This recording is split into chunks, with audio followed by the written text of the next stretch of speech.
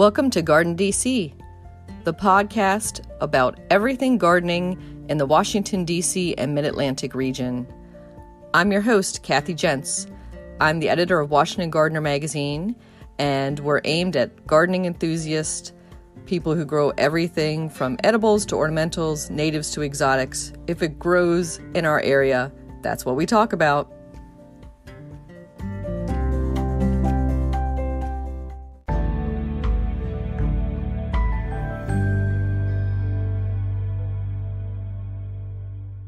This week on the Garden DC podcast, we're joined by Andrew Bunting. He is the Vice President of Public Horticulture with the Pennsylvania Horticultural Society in Philadelphia, Pennsylvania. Welcome, Andrew. Thank, thanks for having me. We are going to be talking all things hydrangea today. But before we dive into that, I wanted to ask a little bit about you and your background. And I know that you were with Atlanta Botanical Garden, Chicago Botanic Garden, but I have to ask the question we often ask on the Garden DC podcast, which is Andrew, were you born with chlorophyll in your veins? uh, yeah, pr- probably. Uh, from from a, a, relatively young age, like my my mother, uh, who lives in New Jersey now, she uh, she always gardened and then as a kid, I think that's how I got attracted to it. I also had two, both my maternal and paternal grandfathers were both farmers, one in Illinois and one in Nebraska. So I think that probably influenced me in one way or another. And then I was lucky enough to go to a high school that was was pretty big in the northern suburbs of Chicago that had actually had some uh, I think, three different horticulture classes in high school. So that kind of piqued my interest. And then uh, I went to a little junior college, Joliet Junior College in Northern Illinois. And it was through there that I, I had to do two internships. And my first internship was at the Morton Arboretum, which is west of Chicago, and the other was at the Chicago Botanic Garden, which is north of Chicago. And it was through those internships that I really fell in love with uh, kind of the public uh, horticulture field. And as you mentioned, I, I currently work at Pennsylvania Horticultural Society. Prior to that, worked at Atlanta Botanical Garden. And prior to that, Chicago Botanic Garden. And then for a long time, I worked at the Scott Arboretum at Swarthmore College, where I was there for, uh, I think, 27 years in, in total at your your resume, I see that you did internships in New Zealand and Somerset, England. Can you talk about those a little sure. bit? Sure. Yeah, I uh, actually I came to the Scott Arboretum in 1986 and worked for three and a half years, but it had always been a dream to to work uh, at uh, so, somewhere foreign. So uh, when I was at the Scott Arboretum, I met uh, Penelope Hobhouse, who's a world famous garden designer, has written many, many books on garden design, color in the garden, uh, all, all, sorts of horticultural books. So she was given a lecture at uh, the Scott Arboretum probably in the late 80s. And I must have had a conversation with her. And she said, you know, why don't you come over to England and work with me at Tintinhull House? So she was living at Tintinhull House in Somerset in the southwest of England uh, which is National Trust property. And because she was doing so much lecturing and writing, uh, she hired me and another uh, young American to help her in the garden. And then I had also had a friend who had been to New Zealand and he met uh, Gordon Collier, who's a, a really well known uh, garden garden designer there, who had a garden on the North Island in Taihape called Titoki Point. So I corresponded with him, and this is long before the internet. And he said, you know, if you if you want, you know, when you finish up your stint in England, which was about, I think that was about ten months, he said, you know, if you can make it to New Zealand, you can come and work with me for um, three months. So I did that. I, I left England and then flew to uh, New Zealand and spent three months there, and then uh, ultimately came back to Swarthmore. So I'd, at that point, been gone o- over uh, a year in total, and uh, I did a number of things. And actually, uh, kind of the first job to kind of restart back in the Swarthmore area. I worked at Chanticleer for about a year and a half when it was transitioning from a private estate to a public garden. And did that experience gardening overseas and then I, I would call New Zealand way overseas, right? right. would that have changed the way you garden? Did it Oh yeah, for sure for sure. Yeah, it really it opened my eyes to kind of you know incredible breadth of garden styles. So one of the things I did when I was in, in England is I bought a car, a used car, and every almost every single weekend I would go to whether it be National Trust gardens or private gardens or Royal Horticultural Society gardens, in mostly in England, but also in Wales and Scotland. And I think I counted that I went I visited 140 gardens in in that 10 months. So I saw everything from you know, kind of wild Robinsonian type gardens, shade gardens, plantsman's gardens, you know, Tudor style gardens, you know, formal, informal, uh, you know, grand estate type gardens, and, and, and so on. And then when I went to New Zealand, there I, you know, I would say the style was either kind of an English style or kind of a, a more of a wild, kind of natural, native New Zealand garden style.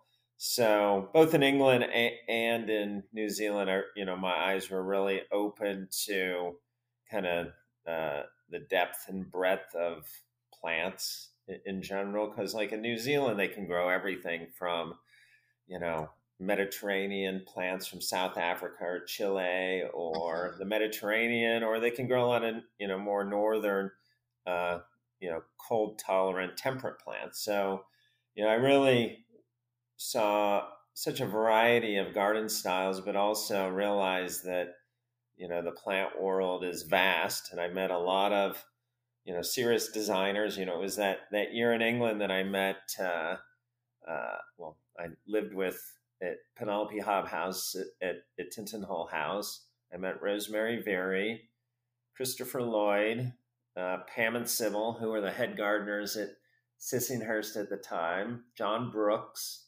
nori and sandra pope who were at Hadspen house at the time so it's like I, you know, I met met, you know, what's still considered today kind of the who's who of of um, gardening uh, dignitaries in in England. So that that was that was amazing as well.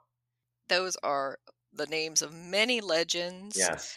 In gardening, and many of us will be like, turning green with envy right now, Andrew. that yeah, you got the to meet only person I didn't meet that I wished I had met when I was in England, and he was still alive at the time, was uh, uh, Graham Stuart Thomas, who mm. you know, mm. had written those great books mainly on uh, perennials. Mm-hmm. Yeah, but it sounds like you did not let moss grow under your feet. no, you, no. you, you, took advantage of yeah, all it, those learning opportunities. Yeah, it was a full horticultural immersion uh, that that year. Before we dive into hydrangeas, I want to also ask about your home garden currently, and then maybe talk a little bit about a typical workday at PHS for you. Okay, sure. So I, I live in Swarthmore, uh, which is where the Scott Arboretum is. So that's that's how I kind of ended up there. And I've owned my house, which looks like just um, like a little English stone cottage. It's about a third of an acre, uh, which is small but big enough for me.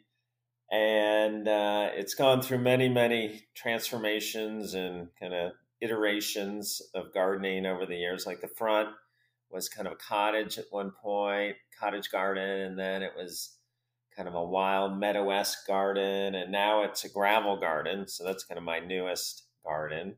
The garage I turned into kind of an indoor outdoor space that I call the summer house. Uh, in the back, I grow a lot of unusual annuals and tropicals, both in containers and then in, in the beds as well. The very back, there's a woodland garden. And about 10 years ago, I approached my neighbors with the idea that I would create this uh, fairly large vegetable garden in, in their uh, at the back of their property. So we live on Vassar Avenue, so we call it Vassar Farm. It's four, 40 by 100. It's big. It's four kind of quadrants. Um, there's chickens back there. Uh, there's compost. Uh, there's some really gr- great uh, Asian per- um, persimmons that are pretty bountiful in the fall. Uh, I would say, if anything, I enjoy collecting plants, but I, I also enjoy garden design as, as much as I do uh, the collect, collecting of uh, unusual plants. So, you know, when I left, I, you know, I went to Chicago Botanic Garden, Atlanta Botanical Garden. I was gone almost five years. I kept the house. So it was kind of fortuitous when I got this position at the Pennsylvania Horticultural Society that I could just kind of move back into my old place. And um, Josh Cacciano is a horticulturist at the Scott Arboretum. He lived there, so it was in good, pretty good hands while while I was away. So I guess that takes us up to uh, we call it PHS, or most people around here call it PHS, the Pennsylvania Horticultural Society. And you know, one of the mm-hmm. things I do love about my position there is that every day is is different. I would say there's no uh, typical day. My kind of my purview is all of our public landscapes and public gardens. So, you know, a typical day might be, uh, you know, when we're uh, typically at our offices. Uh, we've been working from home for the most part. Would be to go out and maybe go to some of our our public spaces that are nearby. So it might be going to, say, the Azalea Garden or the gardens at the Rodin Museum or the Philadelphia Museum of Art or Logan Square, maybe over to the gardens at the Eastern State Penitentiary. And then, you know, I'd pro- probably would have a meeting, you know, meeting or two. Nowadays, it's lots of meetings.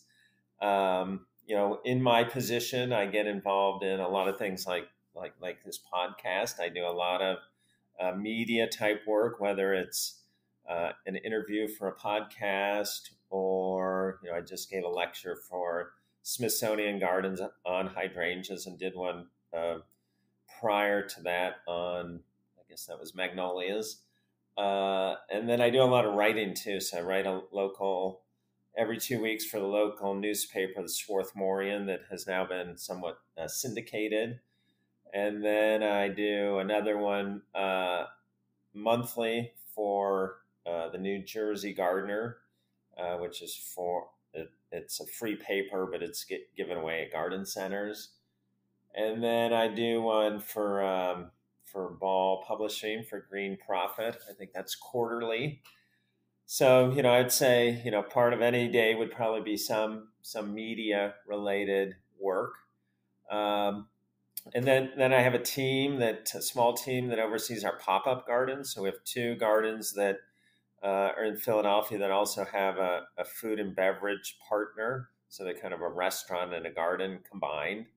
And then I have another team that um, uh, oversees uh, kind of urban design. So I would probably be involved with them at some point in any given day. And then we also, where, where I am today, is we have a public garden north of Philadelphia called Meadowbrook Farm, which is an old estate garden. So, depending on the day, I might be up here uh, as well. And because I'm um, uh, vice president of public horticulture, a lot, you know, I would say almost anything that has to do with ornamental horticulture, a lot of either that involvement, whether it's with our education team, which we call audience engagement, I might get uh, be involved with them on a project or, or, or something.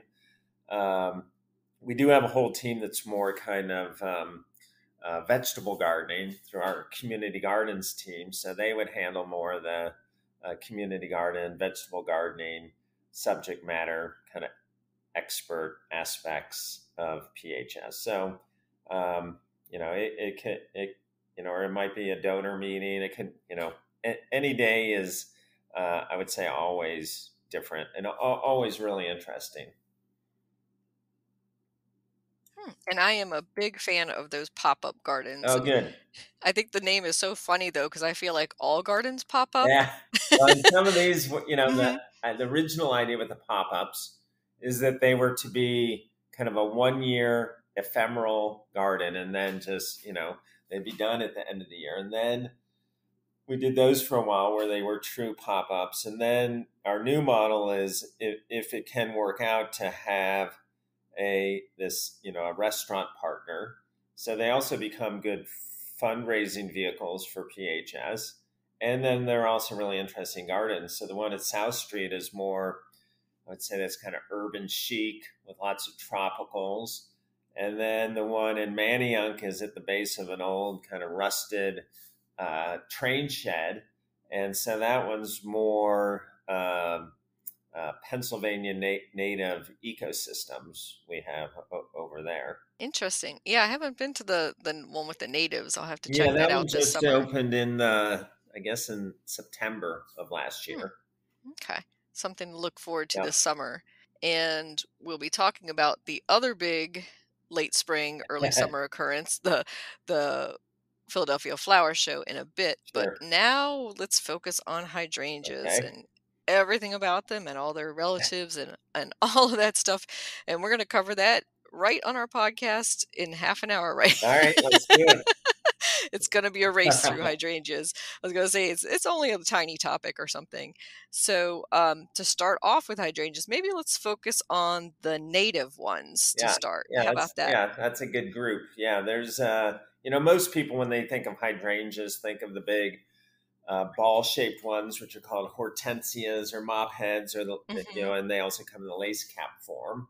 Mhm. Uh, but there is a lot of great native hydrangeas. So even in our areas around, say, Washington, D.C., or up in the southeastern Pennsylvania area, if you went out into the woods, you would probably come across a species called Hydrangea arborescens, which is the sm- called the smooth hydrangea. And that actually, it'll grow in deep shade, but actually flowers better uh, the more sun you give it. So you've probably you know, probably the most ubiquitous and for good reasons because it's probably one of the best hydrangeas on the planet. Hydrangea arborescens Annabelle is a selection of the native smooth hydrangea. It has beautiful white flowers. And both Hydrangea arborescens and Hydrangea paniculata, which is an Asian species, bloom on new wood. So that means that uh, you you could either just leave them as is and not prune them, and then the, the shrub would just gradually get a little bit bigger each year, or like when when I was at the Scott Arboretum, we would prune them back to maybe six inches or so in March.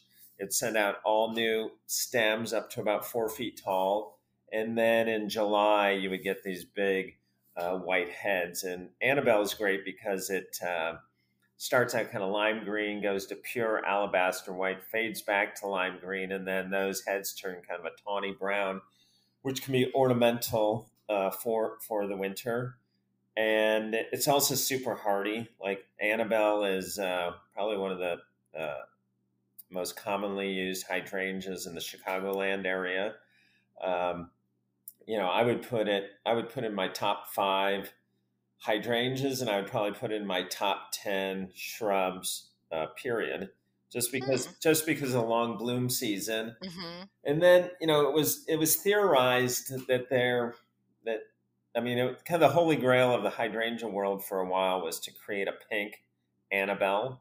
So Tom Ranney, who's a famous uh, plant hybridizer with North Carolina State University, but works in Western North Carolina, he um, kind of charged some of his grad students to go out in the woods and see if they could just find uh, a native hydrangea grown in the woods that, that just had the slightest amount of pink. And they figured if they could find a pink one, they could do a number of back crosses and, and continue to pull out that um, pink or accentuate that pink color. And that's where that's how Invincibelle Spirit was de- developed, which is an arborescens.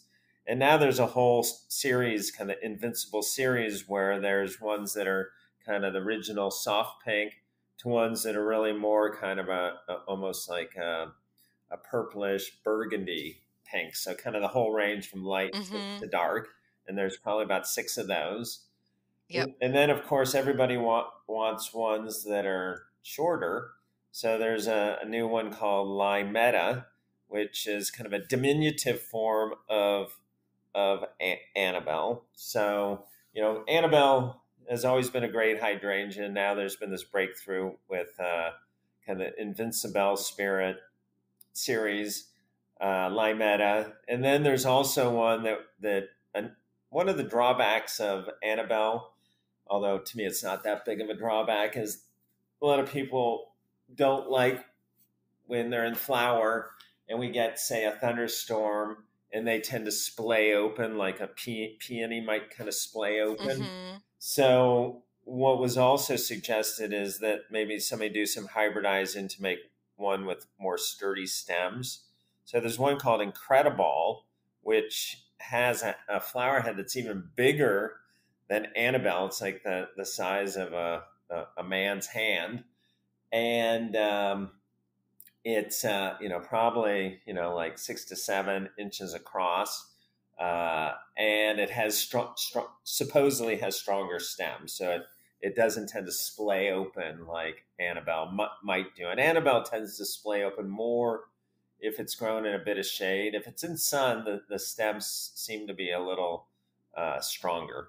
Yeah, and I've been trialing. Uh, when you talked about the Invincibelle series, I have Mini Mauvette. Yeah, which is yeah, it's yeah. a it's a pretty neon pink. It's pre- yeah, it's pretty yeah. close to that end, and then I also have Wee White. Yes, which yeah. which I just got, and that's a tiny white one, and that's more pure pure white. Whereas Annabelle is almost I'm gonna say towards the ivory end yes, of white. Right, that's right. Mm-hmm. And then there, you know, there are other arborescens cultivars. There's a double one called Hayes Starburst.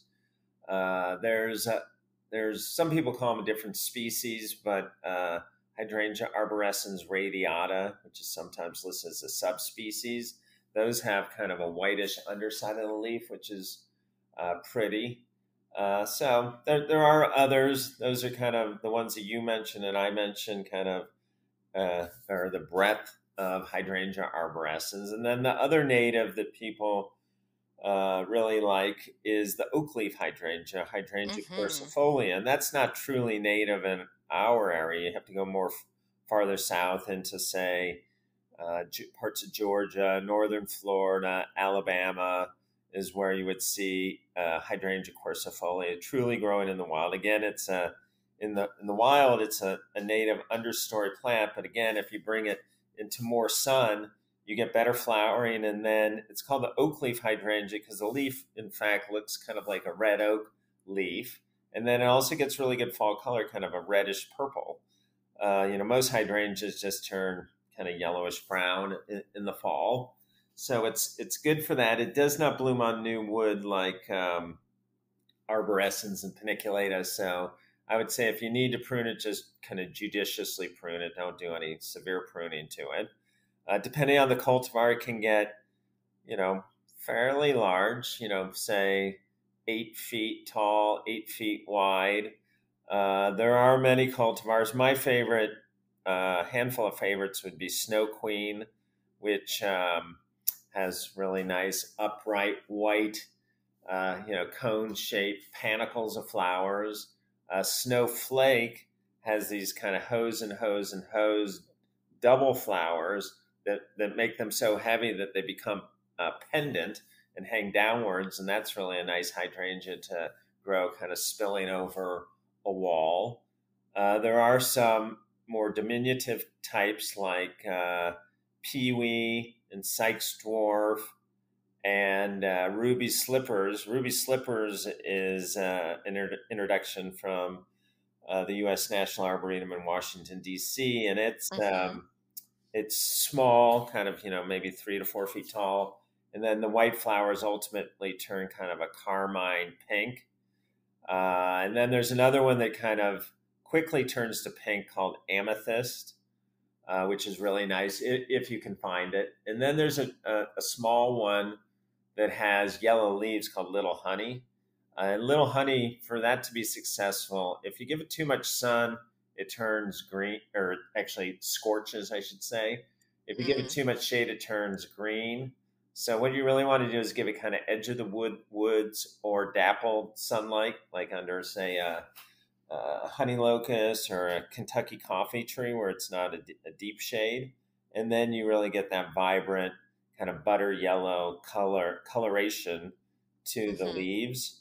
Um, but like all the you know hydrangeas in general have got there's probably no shrub in my lifetime that has gone through such an incredible renaissance in the gardening world than hydrangeas. And it all happened, I don't know, 20 something years ago when Martha Stewart featured hydrangeas on the cover of uh, her magazine, Martha Stewart Living. And it was from that day forward that the world of hydrangeas really exploded. And it's, you know, if you look at any of these groups, whether it's arborescens, the oak leaves, paniculata, macrophylla, serratas, they've all like had this kind of rebirth, and there's been incredible plant selection and hybridizing work that's that's uh, continues to happen.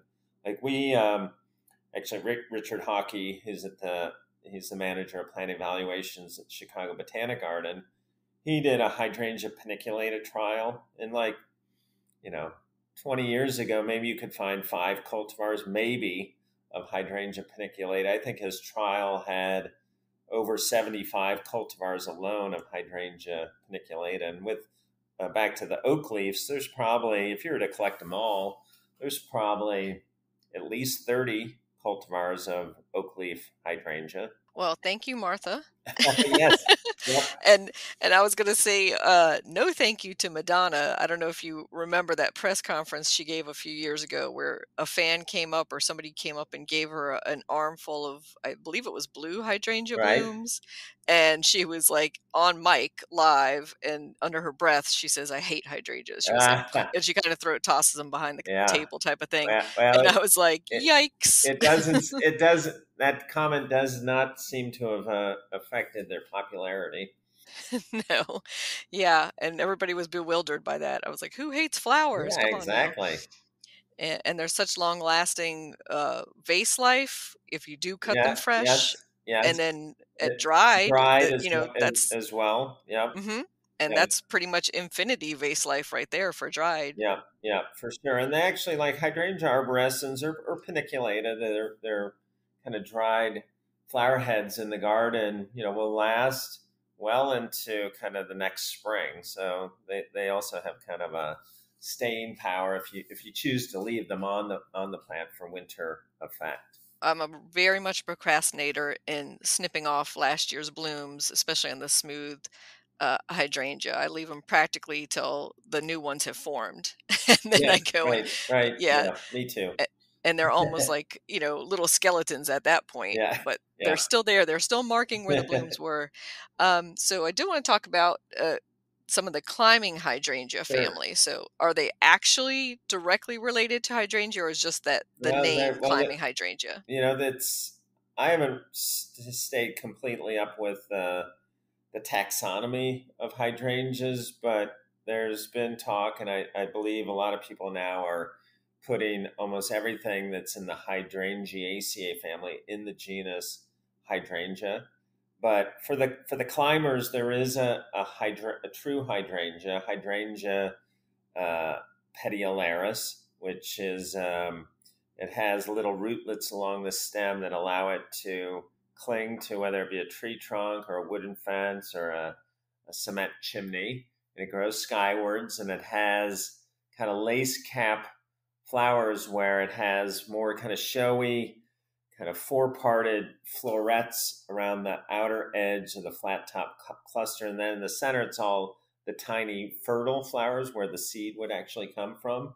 And it has a really um, kind of uh, kind of uh, hand soap, uh, sweet fragrance, and it has a beautiful kind of golden uh, yellow fall color.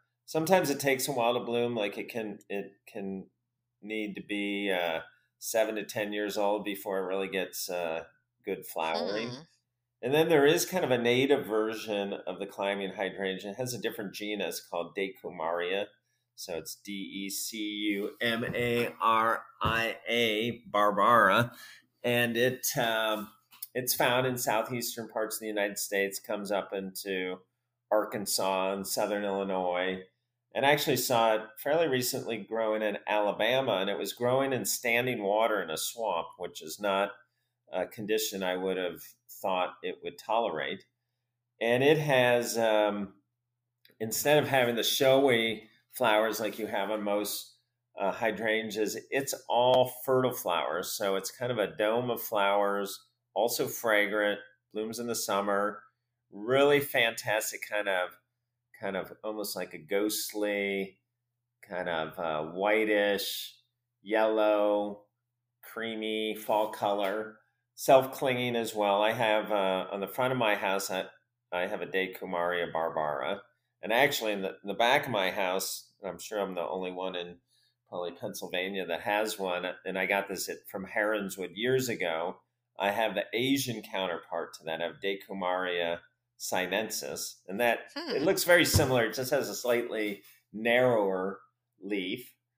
And then there's uh, my favorite of that whole group, and it's a, it's a mouthful, is uh, Schizophragma hydrangeoides. So that means it's hydrangea like. And that's called the hmm. Japanese hydrangea vine. And it, um, so if you give it good sun, it flowers better. And there's a cultivar called Moonlight. Like if you're going to, I mean, the straight species is nice. And what it does is it has get kind of a flat top cluster of flowers, and then it has these single bracts that kind of they almost look like they're hovering above or suspended above the flower or the foliage. They're almost kind of these like teardrop uh, bracts. And so that's really pretty. If you grow the one that's called Moonlight, its claim to fame is it has those flowers, but it also has kind of this variegation where the, the leaf is kind of a pewter silver, but then the the veins are, are dark green. So it creates this kind of beautiful mosaic effect on these heart shaped leaves, self clinging. The, the key with moonlight is if you give it too much sun, the, the variegation doesn't stand out. But if you give it too much shade, you don't get as good a flowering. So what I found is the probably the best place to grow it is maybe like I had one actually on the northwest corner of my house and kind of that aspect got it got enough light to kind of it, well, it was shady enough to to give the good variegation and sunny enough to give the good um, flowering. And then uh, there are, if you live in like England, there's another another genus called Pileostegia viburnoides, but that I've tried it here and maybe in places like the like San Francisco or the Pacific Northwest, you could grow it, but I, I don't believe it likes the the heat and humidity of um, of the most of the eastern U.S. And do you find? So you said it takes seven to ten years sometimes for the flowers. That climbing hydrangea are really slow to establish and get started on that climb. Yeah, I would say they actually climb pretty quickly. It's this, and it's more with the hydrangea petiolaris that the the flowering seems to be delayed. With schizophragma, flowering can be uh, pretty um, pretty pretty earlier when it's fairly juvenile, and same with the Decumaria. So it's it's really more the what what most people call um, the climbing hydrangea. And so moving on to the big family, the mophead type yes. or macrophylla. Um, you mentioned the heat of the East Coast, and of course, here are heat and humidity in the Mid Atlantic. Do you find that for though that group that we have smaller or less flowering, say, than they get in Michigan or Long Island uh, from those mop heads? Um, I would say not not necessarily. I think it, it's a tricky group, and there's I think the things that people need to know to understand why why they're going to get flowers or not uh, are a couple of things. One is so hydrangea macrophylla is, is the group of the the mop heads and the and the lace caps. There is hydrangea serrata, which is kind of a Japanese version. That's everything's more diminutive. Um, is there's probably a thousand cultivars. Uh, they'll actually take a lot of heat, like the you know American Hydrangea Society is based in Atlanta, and there's there's not many places in the country that are hotter and more humid mm. than Atlanta, but the hydrangeas do really well. There. They do they do do well there. I think hydrangeas generally, while they can grow in alkaline soils, really can thrive in um, in more of an acidic soil. Uh, the key in, in, real hot places, say DC South, is to uh, hydrangeas will actually do better with a bit more uh, shade, and you have to really be mindful of, of watering during periods of, of drought. Uh, for people in, in where it's colder, and that, that can sometimes even include, say, the Philadelphia area, is not all hydrangea macrophyllas are created equally from a, a hardiness perspective. So uh, you have to you kind of have to know which ones are are are hardy enough. So like in Chicago, a lot of the macrophyllas just did not do well at all. They may have survived the winter, but what off, often would happen is they would die. They would be frozen to the ground, mm. and because most hydrangea macrophyllas, you need uh, stems that are at least two years old to get you know satisfactory flowering. They always had new wood, so they never really produced flowers. Now there are some newer clones like Endless Summer and others that bloom on on new wood, so that that is a breakthrough in the hydrangea macrophylla world. Now there is there does seem to be a perfect kind of uh, climatic sweet spot for hydrangeas, and that is kind of a, a, a maritime type situation. So I've I've never been to Nantucket, but uh, there's some uh, hydrangea growers there, and I've seen pictures of like a hydrangea macrophylla that's literally like ten feet round, and you know, in the entire thing is covered in flowers. And I, I, ah. go to Martha's Vineyard quite a bit because I have a, a colleague there, and uh, macrophyllas do really well there uh, as do the serrata types. And what's interesting, and I'm sure the same same is true as on Nantucket, is Martha's Vineyard is ex- one of the most acidic places probably in the country where the pH can be you know 4.5, 5, and so all the you know all all the hydrangeas it could be blue or pink are all blue. Like they are like an intense uh, really intense blue because mm. of the acidity, and that's another thing to kind of uh, uh, kind of hydrangeas 101 that people need to know is uh, uh, the the flower color is dependent upon the pH. So if it if it could be pink or blue, anything say 6.5 or less pH, you know, on the acidic side it's going to be blue, and anything say 6.5, 7 or higher is going to be pink like in Chicago, high, you know, high alkalinity, high pH soils. Uh, the water also has high pH. So, you know, most of those hydrangeas there are pink. In places like Martha's Vineyard, they're all going to be blue. If it's a white uh, hydrangea, it doesn't it doesn't matter. It doesn't go, you know, it doesn't really turn a, another mm-hmm. color.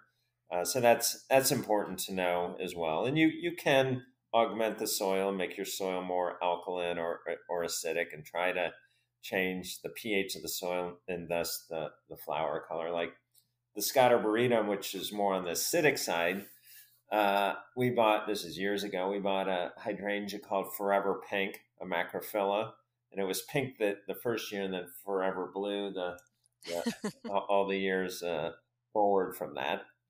Yeah, I totally relate. I bought blue jeans yep. hydrangea and it was blue the first year and pink for ever since uh, because of I'm in an old brick house and I'm and I'm pretty sure it's it's the brick that makes the makes the soil alkaline. Yeah, exactly. What often happens is uh, people that plant them along their foundation. You know, most foundations are made out of cement. In the cement, the mortar of the cement, or just the, the how the cement is made, has uh, you know a, a high level uh, level of alkalinity to it. So that's why often foundations are have a high uh, pH. Um, you know, so that, that and it it does uh, it can impact the the acidity or the pH of the of the soil. Mm-hmm. And then the you know the other group that's worth mentioning are the hydrangea serratas. So serratas are like like a macrophylla. They both have lace cap and the, the mop heads are hortensias, but everything is is smaller in stature. So the plants themselves can be anywhere from like three to six feet tall, smaller leaves, smaller flowers, great for a smaller garden.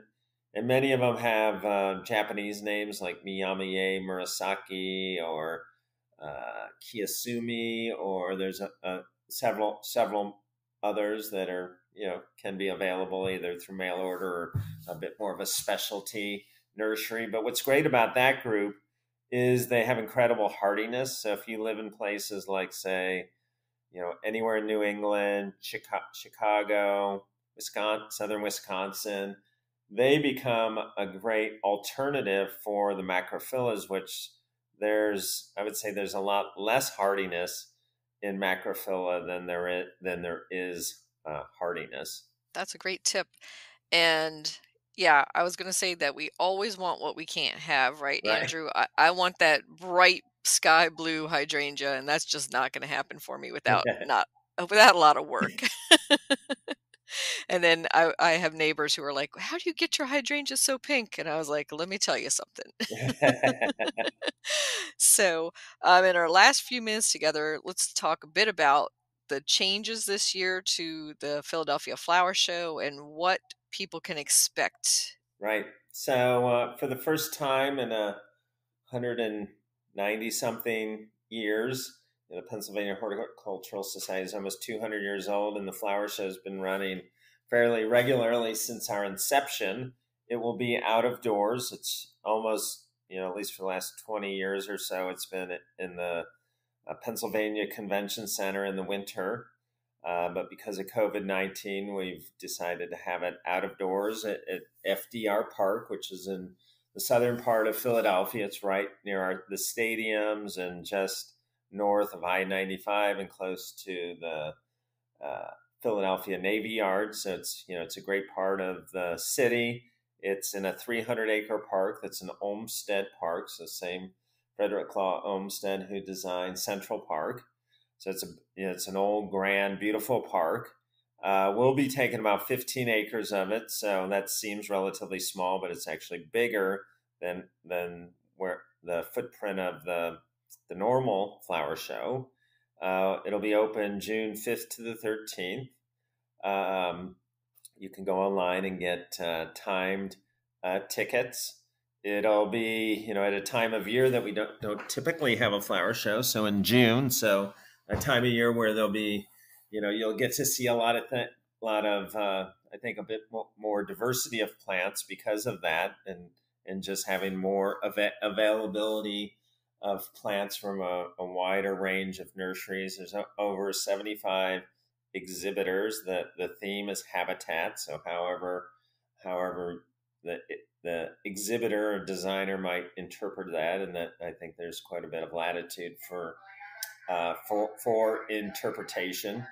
It all sounds really exciting, and the 15 acres that you mentioned makes me think I might pack a change in shoes.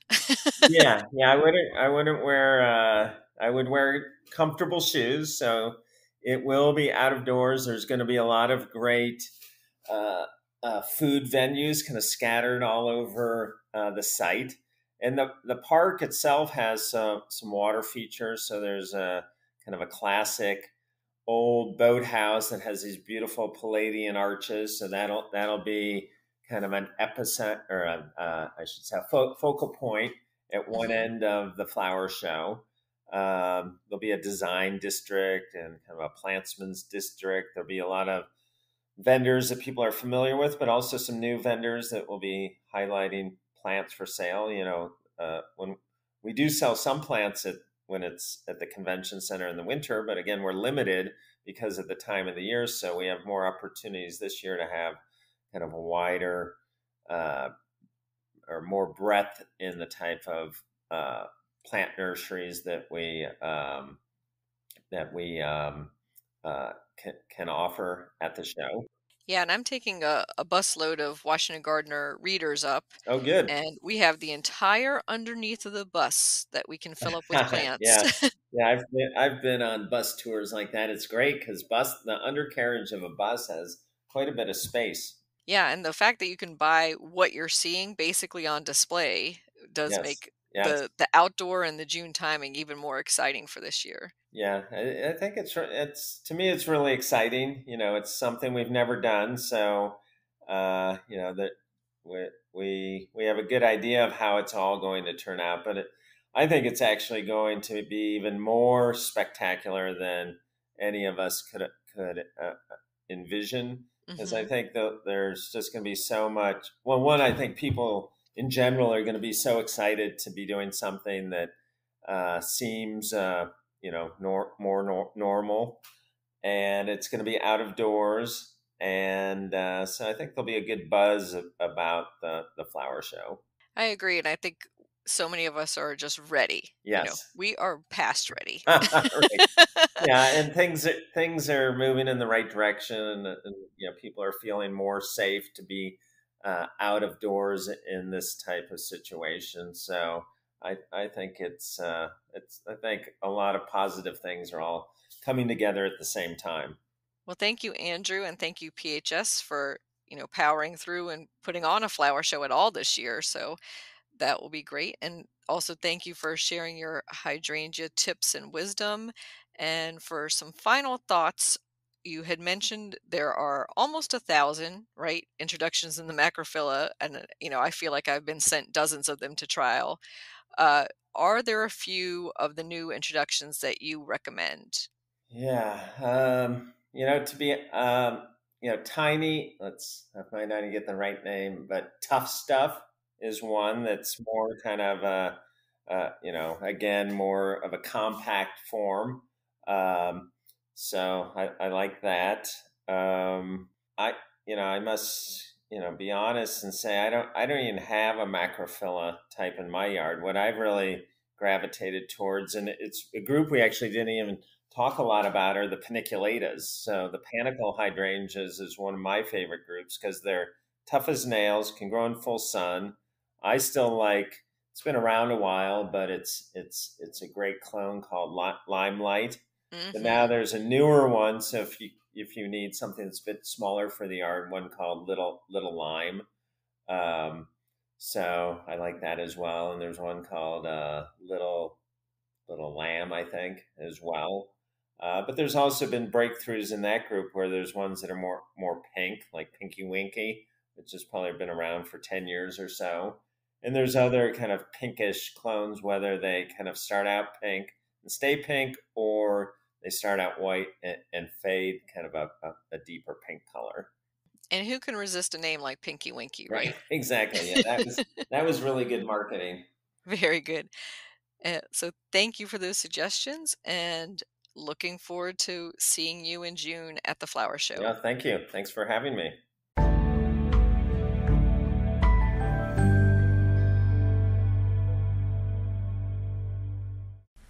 Brunnera plant profile. Brunnera macrophylla, or Siberian bugloss, is also known as the false forget-me-not due to its dainty blue flower sprays in springtime.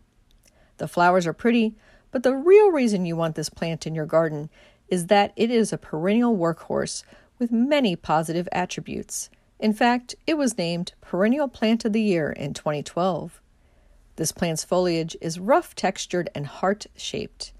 The hairy texture of the leaves make it deer and rabbit resistant. It is not a native plant to the mid Atlantic USA, but it is well behaved and expands in a clump that can be divided and moved about every few years. The only maintenance need is a fresh application of organic mulch in early spring and to cut back the spent flowers, unless you want the plant to seed about a bit.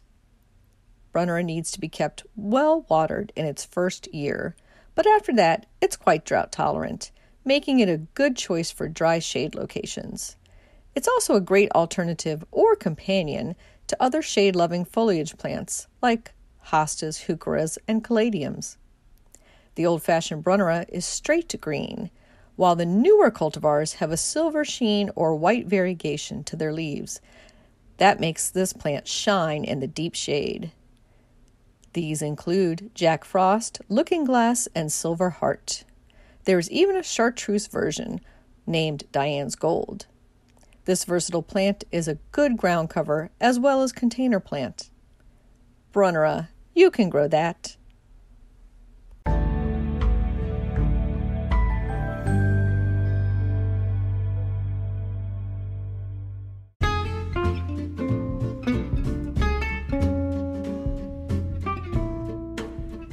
What's new this week in the garden?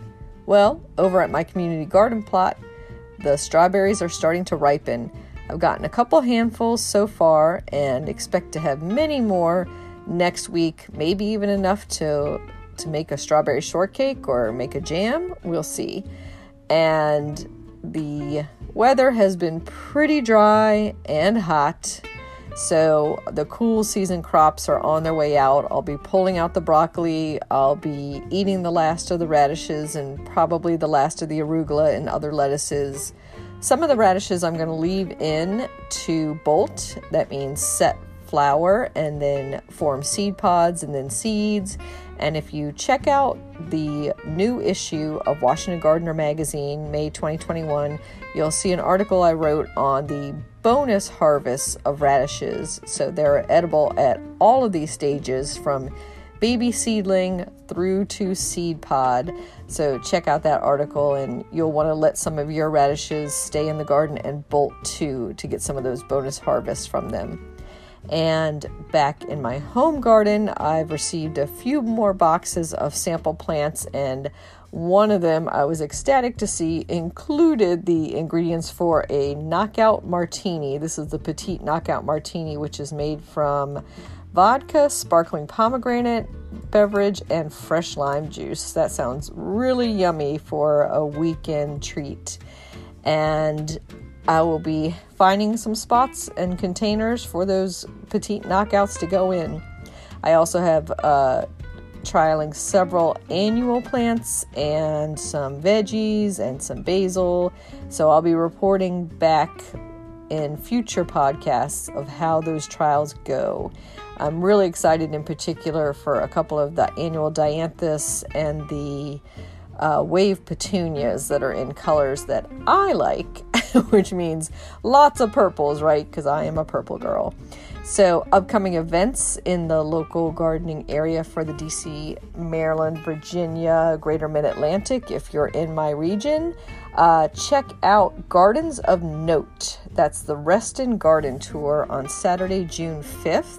And you can find out information about that and purchase your tickets online from Reston Chorale.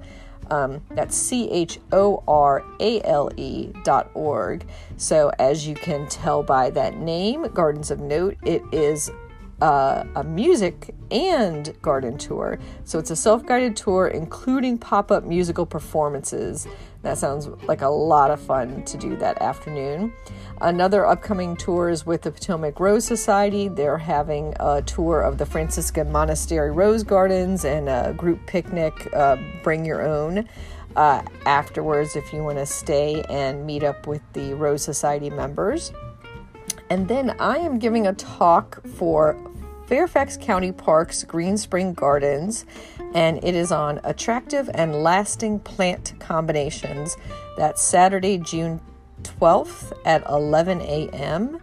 And there's a nominal fee to about $18 per person. I think there might be a discount for the frogs, the Friends of Green Spring, but check that out. And you can find out more information and register through fairfaxcounty.gov slash parks slash park takes and the event code is cdv.ok4p. I believe that is the correct code. You can also just search on my name, Kathy Jentz, J E N T Z, or on uh, Green Spring Gardens um, event site. So, I also wanted to note that I've been doing a lot of garden touring myself and been posting albums of photos from those tours to the Washington Gardener Facebook page. So if you go to facebook.com slash Washington Gardener magazine and click on the photos and then the albums, you'll see albums of photos from um, several of the recent garden tours that I've been going on. And uh, the latest one is the Beyond the Garden Gates garden tour that's in downtown Frederick. It's a self guided walking tour and you go to celebratefrederick.com to sign up and get the online brochure for that. And that goes through sunday may 23rd if you're interested in still catching the frederick beyond the garden gates garden tour. Happy gardening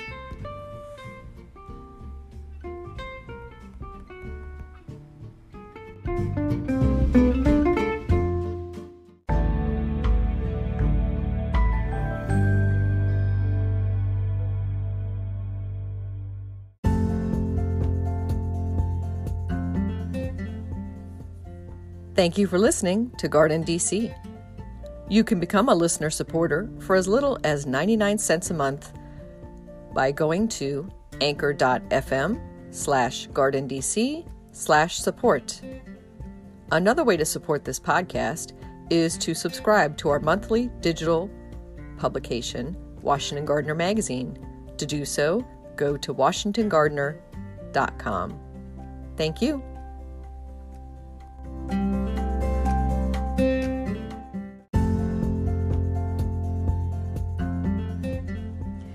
You can find Washington Gardener online at washingtongardener.com, on Twitter at wdcgardener, on Instagram at wdcgardener, and on Facebook.com at Washington Gardener Magazine.